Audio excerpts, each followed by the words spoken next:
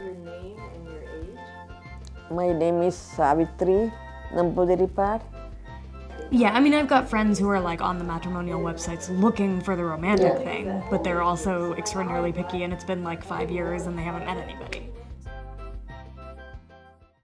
Here you can meet many. I mean, it's not easy, but right? Yay, Auntie, for acknowledging that it's not easy mean- for us to meet men. I, I don't know if it's, it's, it's true with everybody, but anyway, two of my children married, had arranged marriages, and Then I had that third one.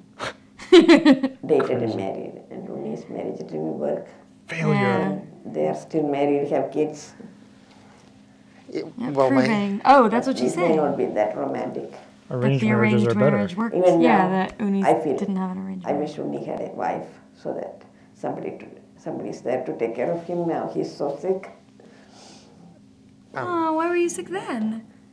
Hmm. I was sick emotionally. my second brother didn't have an arranged marriage. I mean, he it was a self-arranged marriage. It was a matrimonial website, not an arranged mm. marriage. Mm. You know, he did it himself But that's still good enough. Yeah. And it's still in the realm of like, I'm not looking for something romantic. Maybe. I don't know about Well, your he, brother. he married Yeah. somebody from India, right. and uh, you know, when it's arranged in that kind of way, I mean, they communicate beforehand, but you know, it's about you know arranging a marriage. My parents when- would take that compromise. They want me to do that now. Well, maybe not now, but they did for a while when they thought I was like adrift. Wait, they don't think you're adrift now? no, now I'm all set because I'm going to be going to grad school. Oh, right. So Oh, that really? replaces Oh. romantic Have they talked about that with you recently?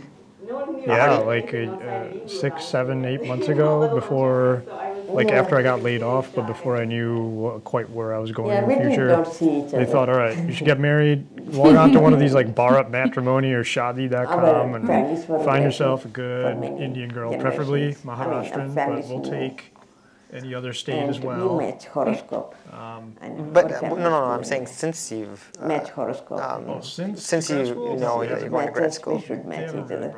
Brought it up. then how- I mean, how do you know that they're on board and they're okay with what you're doing? We do. Why would they not be okay with him going to get an Maybe. MBA from No, Cornell I or mean, Yale? how do they know that you're not adrift in terms of like the marriage? Coming to this